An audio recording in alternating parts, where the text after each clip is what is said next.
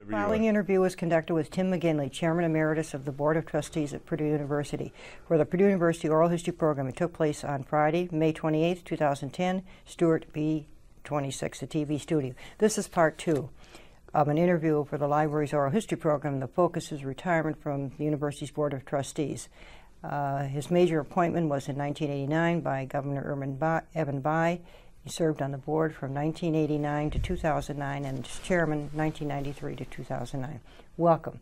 Thank now, you. the major responsibility of the board is selection of the university president. You've been involved in the selection of two other people. But when you came on board, Dr. Beering was here, so you served under him to make a couple comments or observations. He has said Although he has supported Purdue financially, his most extraordinary gift has been these two decades of service, which is very nice. Well, that's a, a yeah. nice compliment, and I yes. appreciate it. Uh, I think you're absolutely right that that is the most important job I picked that up from some years and others that I've interviewed. Yeah, that that's uh, you have a lot of responsibilities, but as I've always told people, if you get that right, the president selection right, uh, the rest is easy. And if you get it wrong, uh, it's awfully hard. So uh, we spent a lot of time and effort on it, and I was fortunate enough to serve under three presidents or with right. three presidents. Uh, as you mentioned, uh, Steve was here when I came to the board, and then uh, when he retired, I uh, was chairman of the board at yes, the time. Yes, I thought I'd move, Dr. Jischke, you were the chairman. The and, I, and, I, chaired the search committee as right. well for that presidential search, and and uh, you know uh, the search process uh, itself. I'll maybe make a couple of points on it for researchers, so they, that would be helpful. The right. the board did a lot of work prior to launching the search, and that work focused on you know where is the university at that time, what are the strengths and weaknesses, and what should the priorities be going forward. What types of things do we need, and therefore what type of characteristics should the new president have to meet what we uh, determined were our needs? And just to give you a couple of examples of that, we wanted a, a, in our new president someone who had used strategic planning, uh, knew how to develop a plan and implement it, with implementation being very important, uh, because we thought that was the way the university should be shaped for the future. Mm-hmm. We wanted someone who had uh, proven experience and success in private fundraising uh, because we were ready to launch a major campaign and we wanted uh, someone who was uh, who would welcome that and, and would be good at it and had uh, a background which demonstrated that. And and then we uh, also wanted to really take Purdue to a new level of engagement with uh, outside constituencies like the state, like the business community, like uh, the national interest.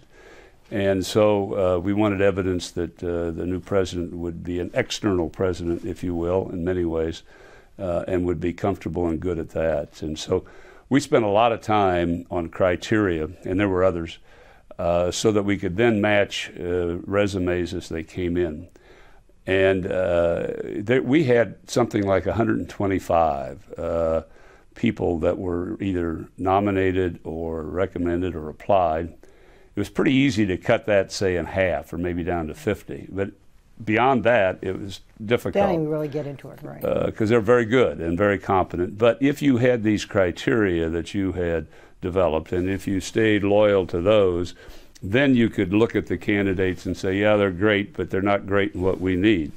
Or they are great uh, in what uh, we need.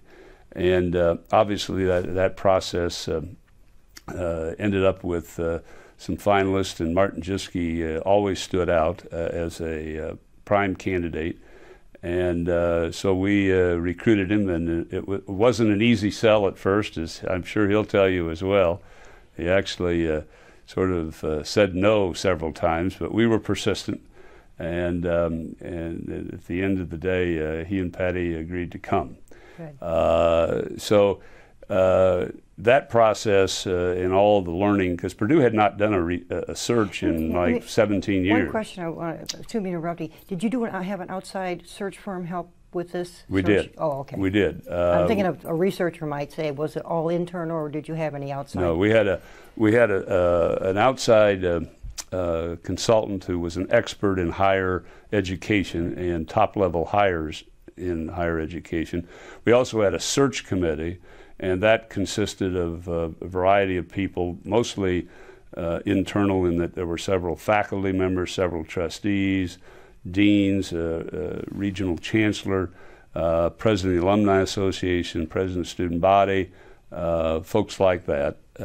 who um, worked very hard and were intensely involved in the process but we were we were uh, handicapped a little bit by the fact we hadn't done a search in 17 years. Steve Beering served that long, and no one on the board or even on the search committee had had prior experience in doing this. So uh, I would point out that there were some people here and uh, former trustees who were extremely helpful at trying to educate us. Uh, I'd point out Stan Hem, who was the chairperson of the Senate at the time, and he had been involved in the prior search, and uh, he was very helpful, uh, as well as some former trustees that had been involved in the search. So uh, once we finished that, and of course Martin served for seven years, right. and then there was a, another search launched, and uh, at that point we did have a lot of experience in that we sure. had done it before. We had kept records of what we had done, uh, so people were involved. It's maybe a little bit easier to at least get started.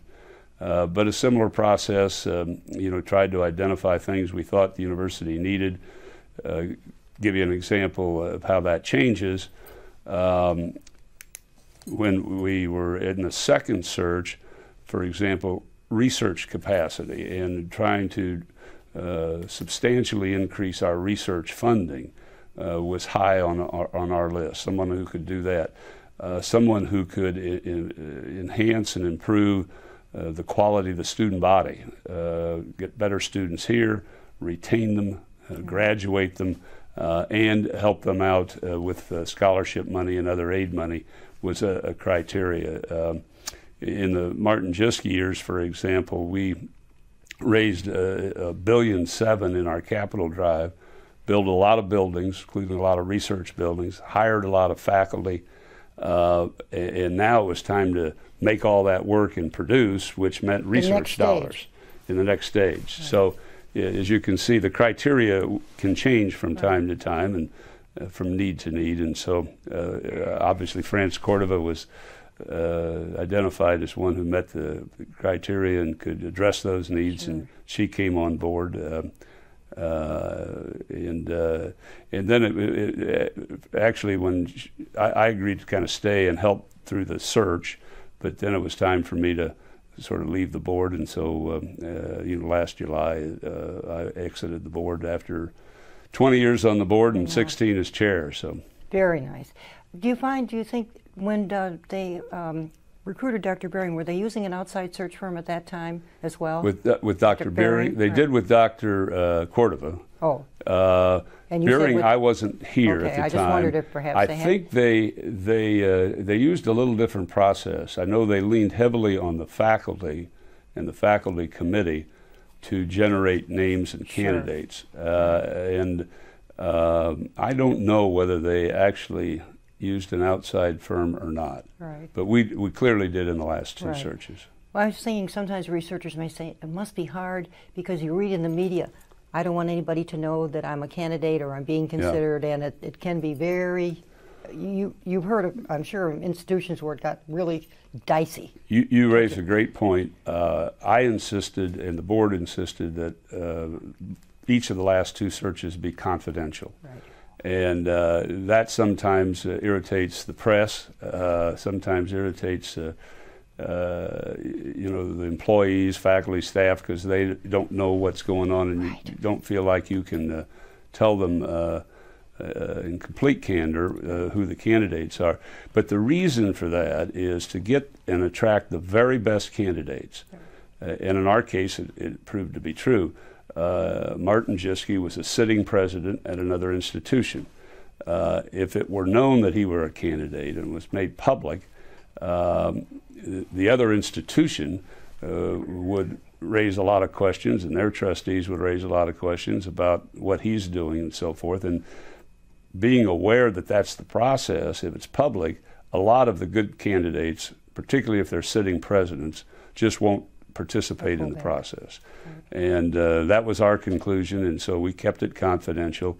And uh, I, I can tell you with total certainty that if it had not been confidential, we would have never hired Martin Jischke because he would never have uh, agreed to go uh, down the path with us. Isn't it also difficult for the candidate working with the institution that they're still at to try to handle the in if as the process continues if they know that they're being a candidate? It must sometimes could be hard on them. Yeah, I'm, I'm sure it is because they're uh, obviously at a position uh, or a point in their career, wherever they are, that they're uh, considering an, another option, and and uh, you know, and that's always difficult. To, Not only professionally, but a, a lot of the candidates we'd talk to would have personal issues. Uh, uh, kids, for example, that were in school and you know they didn't want to move the kids across country, or uh, uh, other things, or a, a spouse who's employed, and uh, uh, frequently anymore. Uh, uh, the spouse uh, is a professional as well, has their own career, and so you're you almost are recruiting a team uh, as opposed to uh, just A little bit one different. individual. That's right. Yeah, and you've got to sell them as well, and, and perhaps also see if there's a, a spot for them in the university uh, so they can continue their careers. Right, good point. Dr. Jischke said the progress Purdue has enjoyed during the McGinley years marks this as a golden age for the university. That's very nice. And uh, Francis said that he ushered in a new business model which was guided by strategic planning. Do you think that having that strategic plan during the Jischke helped in the new one that was put in place? Oh, sure. Okay. Yeah, we went through. Um, well, uh, just to give you a, a flavor Okay. for it, we uh, when Martin came on board and we uh, had an agreement that we wanted a strategic plan. He took about a year in working with the board, and it was a very inclusive process where uh, several committees were established, uh, faculty were involved, students, administrators, alumni, to try to surface uh, what should be the goals of the university and what should the priorities of those goals be. And it took us about a year uh, before all that came to a completion in, in the strategic plan, and it was adopted. And then from that that period on, uh, almost every major decision had to meet the test that it fit the strategic plan. If Sure. it did, we were uh, probably going to do it. If it didn't, it, it would not be done. And you always have to have priorities. You always uh, have to have trade-offs and with limited resources. So, um, uh, and then when uh, that plan really had achieved most of its goals, uh, at the time that uh, Martin was leaving the university, we had had the million, billion seven fundraising campaign. We had built the buildings that we anticipated. We'd increased the number of faculty. Uh, we'd increased student aid. Research had doubled. All of these goals were achieved. And so uh, when France came in, we essentially duplicated the process, but with different results, because uh, again, certain things had been achieved and other things needed attention. That will fit into it to some extent. yeah, it, so it was a building on the, Right. the old strategic Good plan. point. It wasn't a brand new process with you know a whole different direction for the university. Uh, I, I would really view a strategic planning, and Jischke was phase one, and France is phase two, and hopefully, uh, you know, uh, down the road there'll be a, a phase three uh, created by somebody. Right. Let's, that brings up, uh, next thing I wanted to talk about was leadership as a board chair. Your thoughts on a leader's role in the academic and professional world? Leadership as the chairman of the board. Yeah. Well, it, it's a, uh, a, complex job, and, and uh, because it's a complex university with a variety of constituents. Uh, and I do think you have to be a consensus builder. That That's one of good- the, yes. the the roles of uh, the board chair is to uh, uh, try to involve everybody who has a stake in whatever the decision is. Make sure that their opinions and views uh, get aired completely and thoroughly. Uh, and then to try to work with the decision makers, whether that's the other trustees or the administration, uh, toward a decision that will uh, not only be a good decision, but will unite all of the people around that decision so that it moves forward with great energy and enthusiasm and momentum. And that latter part's extremely important. You can make the right decision, but if you don't have the people united behind the decision and willing to go to work for it, it's not going to happen. Exactly. Good point. And then that uh, some of the significant board activities. We talked a little bit earlier about the fundraising, but you came in when the Vision 21 was already in process, yep. and that did extremely well. You make would you make a comment on that? And I thought the campaign for Purdue, Purdue particularly for the researchers, the original goal was what 1.3, and then we upped it. So I'm thinking of that. If they read it, that yeah. would benefit by your words. Excuse well, me. the uh, as I had mentioned, we had Vision yeah. 21, as you uh, uh, mentioned, was in process when I came aboard, and that concluded with about 330 million dollars, roughly. Yeah. Uh, and then there was a uh, hiatus while everything was getting implemented, and by the time the year 1999 came and the board was getting ready for another search, we were certain we needed another major capital drive. What surprised all of us, I think, was how effective uh, a dynamic president, uh, a strategic plan where you could point to exactly where the money was going to go and what the results would be, the impact that would be would have on the donor community. Um, I remember some early conversations with Martin uh, where a billion dollars was talked about, and you looked like, well, we did 330, and now we're going to go triple that. Uh, some people thought, you know, that's just too much. Others uh, have voiced a similar thing. A billion, wow. Yeah, exactly. wow. And then, you know, we launched it, and, and as uh, people were identified and, and asked uh, and recruited to the campaign, they, they, uh, they came with great enthusiasm and the pocketbooks opened up, and you know we raised it to a billion three, and then next thing you know, we uh, finally uh, ended up with a billion uh, seven. Uh, but you have to have a, a clear case for donor support uh, on what you're doing and why. you you have to have an, an, audience, I suppose that that's relatively new. Uh, because you can't keep going back to the same sources over and over again. But there were a lot of alums out there. And one of the other things I'd mentioned that wouldn't get headlines, but so important, is we put in place the infrastructure behind the fundraising campaign. You know, the, the data that you need, the um, people in each of the schools who are out asking, the records, the, you know, the uh, trailing of an alum's uh, career so that you kind of know where they might be in, in, in, their stage and where they could be helpful to the university. And would they be interested and should they be contacted? Yeah, exactly. And when you contact, really you got to know what the message is and how yeah, you can interact. Yeah, it's a science. Uh, yes, it is. You know, and, and hopefully one of the legacies of all that is that we left in place uh, the infrastructure right. that would support uh, the next campaign and, uh, and the people. So uh, it was a very successful period. And, you know, I'd have to also say it was a, a time when the economy was doing well and stock market was doing well. And so we were, uh, our, our, timing was probably good in retrospect. And it was helpful because Murray Blackwelder had worked with Martin before and he came yeah. on board. Yeah. and was familiar with that. That's uh, true. Murray, well, one of the reasons we hired Martin was that he had a proven track record at private fundraising at Iowa State. Uh, one of the reasons he had a proven and successful track record was Murray Blackwelder uh, was his, uh, you know, head fund, uh, sure. fundraiser, and so uh, you know, shortly after Martin came, he expressed an interest in trying to recruit Murray to help him again, and of course they had worked together, and again it was a proven record. You know, he had done it, and so we were fortunate enough to bring Murray to, to West Lafayette and he did a great job uh, working with Martin. Uh, they were a great team. Sure. And uh, but I think it also it became part of the culture uh, within the university in that, uh, for example, every dean uh, began to see that one of the important roles of his job was fundraising, private fundraising.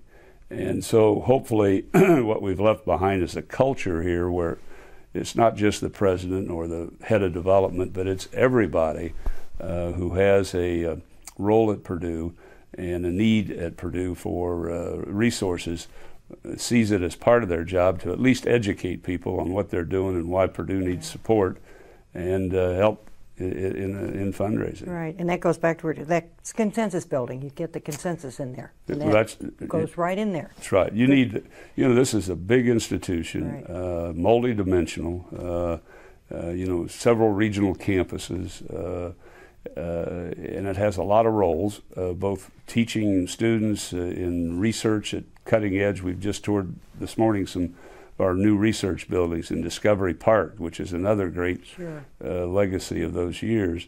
Um, and in, in engagement with the state and other constituencies, you know, and taking our uh, our experiences here and educating the world and improving the world, uh, you know, bringing that all together under one roof uh, is uh, a challenge, but it's uh, it's so It's rewarding and it's a challenge and it's ongoing. You're always working on it. You yeah, to it, it never you- you're never quote there successful. is no finished. Yeah, it's a venture. right. Uh, we talked about the strategic plan, of course, yeah, and then anything other highlights, any special stars in the and when you were on the board that you want to make a comment on? Well, you know, I, I'd uh, revisit the comment about Discovery Park. Okay, Um, good. I- was that when we? ca- I asked, excuse me, I asked Dr. Jischke, I have interviewed him, where he said, I came up with that name. I, uh, he did. It, it was Which was- really his. Um, which, is, uh, which was great. I was glad to get that answer because people say, where did it Where'd it come, come from? right. it was his concept, and uh, th- there's such a move to interdisciplinary uh, Right. research. So the old uh, silos uh, didn't quite fit. So you needed uh, an expression of that. Uh, Discovery Park is the ultimate expression uh, of that. You needed a place that would attract the kind of qualified faculty we wanted, whether that were, was senior people who already uh, were well known in their field or the bright young rising stars. Uh, Discovery Park served that purpose, as well as you know graduate students and students. But when I think back at one time, um, that was all very much out of date student housing. Uh, that part of the campus was one you've hardly ever visited, and you you move forward till today, where we have all of these research buildings and several others under construction, other commitments coming. Um, it, it's just exciting to have been a part of that Very vibrant. uh, you know, the creation of, of that uh, part of the campus. Yeah, it's really nice. Yeah.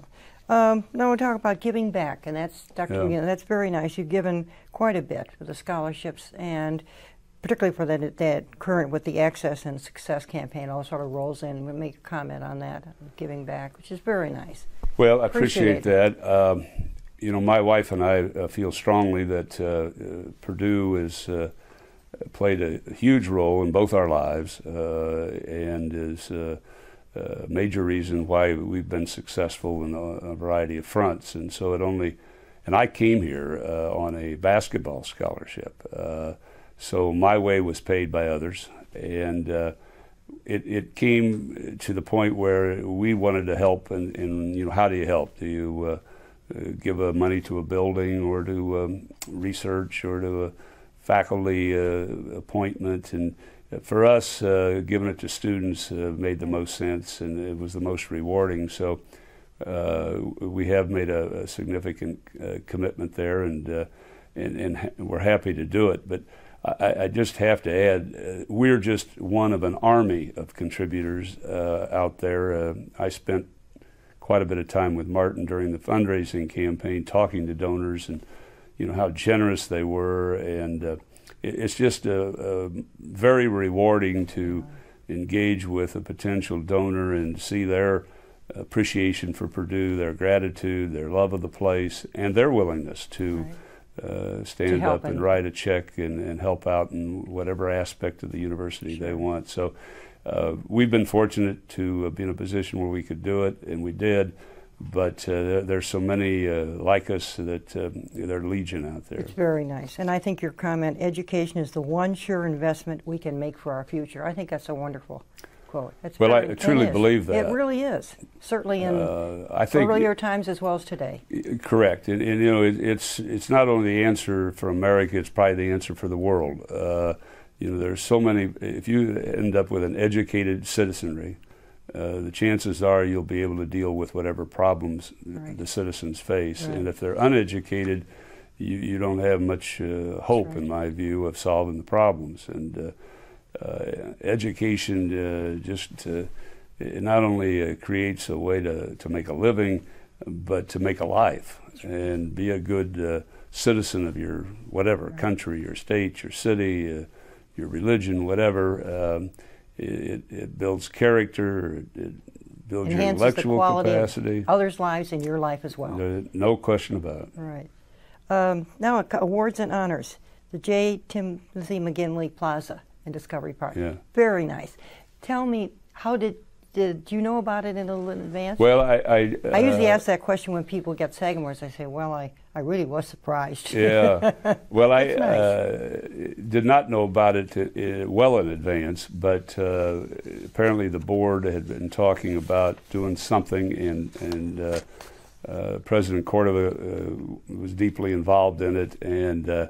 Uh, I I really think uh, there may have been her idea that uh, Whatever. because she was uh, searching for things uh, to maybe uh, do, and uh, she was the first one who mentioned it to me, uh, and um, uh, we're very grateful uh, for the honor. It, it is uh, a place uh, on It's campus that I connect with. I mean, it's Discovery Park. We've talked about that hmm but as uh, there's a fountain in the plaza, and surrounding that are various buildings, and all those buildings, each one of them is named for a good friend because uh, of these donors that we've mentioned, whether it's Mike Birck or Bill Bindley or Jerry Mann, uh, and and others. Uh, Part, so of your, part of the family. yeah, it's just it, it, and the plaza connects to all of them. So uh, we're we're very thankful, very grateful, and it, it and appreciate it uh, deeply. And uh, uh, you know, it's nice to have that It sure is. done. Right. And the other congratulatory I wanted to do in your honorary doctorate you just Yeah. received. That's very nice. Yeah, it, it was uh, that was a surprise, and um, you know, as the certificate says, it was the highest honor a university can bestow, and, and I, I'm wearing the uh, lapel pin that only those who receive an honorary doctorate uh, have. Um, and it was it was kind of a nice capstone to my involvement over a long time uh, at Purdue, and I'm very grateful to the School of Engineering uh, for uh, uh, initiating this. Uh, because I'm not a traditional engineering student. I mean, I have my degree in chemical engineering, but I went off to uh, graduate school and got a master's in business, and most of my career has been spent uh, in real estate investments. Um, so it's not a direct tie to what traditionalists would say, chemical engineering. But as we discussed over there, and as I think they fully uh, understand and promote, is the, the training there prepares you for anything in life, whether that's uh, engineering per se, or administration, or uh, become a lawyer, or whatever. And so I'm, I'm really grateful for them to recognizing that concept and, and raising me up as an example Right. uh, of one who uh, who they're proud of, and, and I'm certainly proud of my uh, chemical engineering nice. background. Congratulations. It's very nice. Thank you. Um, legacy. Now, one thing that uh, when I retire, this is something I had read, and I think we mentioned the last time. I hope service to Purdue will have bettered the university. If people can truthfully say that about my time at Purdue, then it will have been worthwhile. I think that's very Yeah. nice. So I'm going to leave you. it with you. What you'd like to. Well, I, I think something I may uh, have forgotten to ask, or I'll leave it up to you. I'd go back probably to our uh, presidential search uh, in uh, 1999. We were, as I mentioned, developing criteria Sure. to go out and uh, uh, market ourselves and market to individuals who might be candidates. And we thought we needed an overriding theme uh, to all of that. And uh, we came up with uh, taking Purdue to the next level. Uh, we thought that kind of said it all, and, and you can uh, uh, use that as a theme and pretty much look at any individual department or area and, and say, yeah, let's raise it to the next level. So I, I think the real uh, test for me would be, uh, can I honestly say uh, that during you know my period as uh, board chair that that we raised Purdue to the next level? And um, I'll selfishly say that I think we did, uh, and. Uh, uh, and I emphasize the we because it's uh, it's everybody. It's the board, it's the president, it's uh, faculty, staff, uh, community support, et cetera. But I, I honestly believe that uh, Purdue's a better place uh, today than it was when we all uh, started, and uh, I think Purdue's at the next level, and that Right. kind of uh, gives me great satisfaction. It certainly does. And we keep and you're going to keep in touch always. Oh, sure. I'm still. I'm up here today. Uh, uh, dinner last night. I met with the president uh, for lunch. Uh, so I'll stay involved in, in, an advisory role, or frankly, whatever role Purdue would reach out and say, "Would you help do A, B, or C?" Uh, I, I'd quickly respond positively. We need continuing resources. Everybody does that in their life. That's lives. right. Yes, Exactly. that's correct. All right, Mr. McGinley, I want to thank you very much for this opportunity for us to get together again, and I thank you very much. Thank you. Okay. Thank you very much for My- my doing pleasure. this. Appreciate it.